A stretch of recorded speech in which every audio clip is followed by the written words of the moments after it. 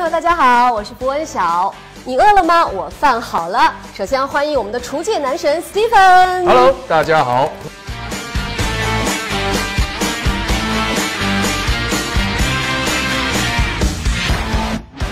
哦，好帅哦，不愧是厨界的男神。这帅不能当饭吃哈，我只是随便做饭的。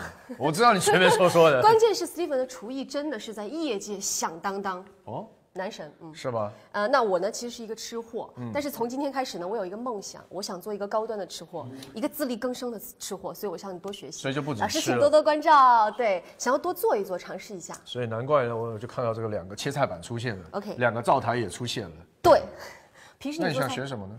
我都想学啊，因为对，你知道，因为现在家庭生活对现代人来说也是非嗯常重要的一个部分嘛。那你会发现现在手机用的也很多，然后你也很少围在一起看电视。那嗯如果一家人可以一起做做菜，在家围着桌子吃饭的话，是一件特别特别温馨浪漫的事情。没错，而且嗯而且我常说，就是你借由做菜可以增加这个夫妻之间的感情。今天呢，除了我们俩在现场跟大家分享之外呢，我们还请到了场外的一对幸运家庭，其中有一个号称是哎对，其中有个号称是资深宅男，嗯到底有多资深？我的是饭炒蛋，我想很多人肯定都跟你探讨过厨艺，一般你听到这样的回答，你在心里默默的给他打几分呃，我们就以这个美食爱好者来 OK 来来居称好了啊。史蒂芬老师，您比较擅长什么菜系呢？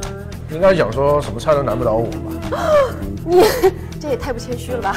咱们能低调一点吗？这叫自信，好吗做菜要有自信，所以做出来菜我要好吃。那我觉得电视机前的观众朋友们比较有福了，因为 Stephen 真的是各大菜系都非常擅长，而且在国外有着多年的从业经验。那我可以问一下你，嗯你比较喜欢哪个国家的菜吗？比如说什么西班牙、意大利啊、法国啊，你最喜欢哪个国家的菜不喜欢这个菜的话，我就不会去。